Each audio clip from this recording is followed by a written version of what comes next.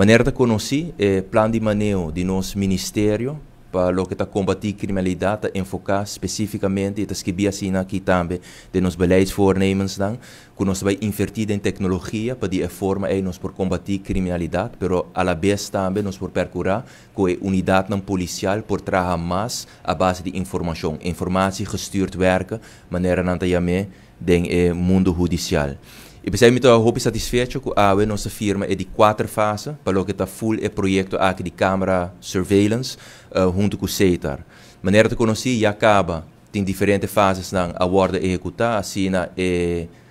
high-rise area, para o que está é beachside e acaba a ordem executar, é hot zone também está em pleno execução, nós temos também o bem-estar de São Nicolás, mas muito importante também nós temos Operation Command Center na Savaneta, qual também está o coração de full projeto aqui, caminho tour e diferentes fases aqui, imagem, também vai centralizar. Banda 16, nós temos 40 pontos estratégico também, que já acaba de equipar com câmera, e a nossa uni para nos firma a seguinte fase, que trata bem-estar, Oranjestad.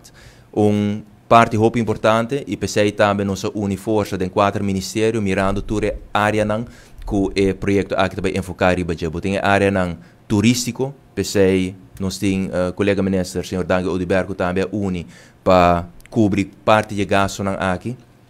também nós tem área não que muito importante para comércio e também área não que muito importante para o que está trata é parte de, de parqueio e por motivo é também um colega ng uh, minister Geoffrey Wafer e Ursula Arens sabe uni para o projeto aqui. E obviamente vanuit justiça, um, nossa carga é projeto aqui tem diferente outro localidade strategico também que também equipar com câmeras.